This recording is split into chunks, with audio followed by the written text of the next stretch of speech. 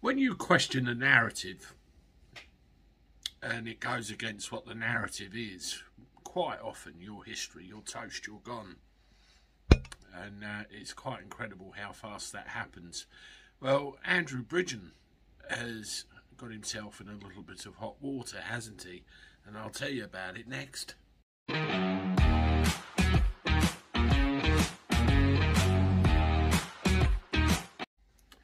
Hello, everybody. Welcome back to the channel. I Hope you're doing all right. I'm not too bad. Not too bad. Listen, I've got this problem with uh, Andrew Bridgen.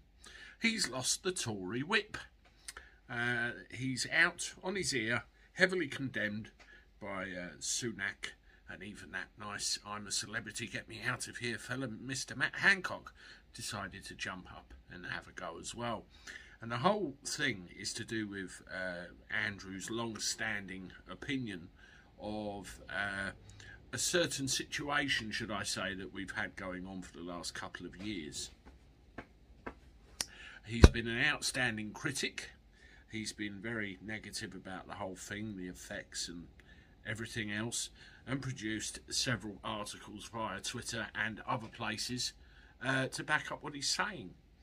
And he's made a couple of uh, comments over the last couple of days, I suppose, which has resulted in him uh, being given the boot, having the Tory whip withdrawn.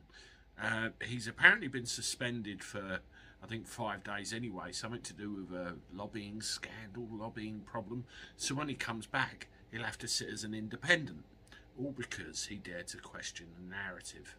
Whether he's right or wrong, what uh, really uh, makes me look is you know, where, when you dare to question what we're all led to believe, you're swept under the carpet as if you're a speck of dust and you're gone. Very interesting world we're living in, isn't it? Let me know what you think of Andrew Bridgen. Was he right? Uh, did he have a right to speak up or should he have just shut up and uh, followed the narrative the same as everybody else has? They've certainly done a very good job of uh, shoving him to one side, and he got canned something chronic today by old uh, Dishy Rishi. Definitely, definitely, definitely. I look forward to your comments. Have a good day, and uh, where are we? Yeah, I'll see you tomorrow. Toodaloo.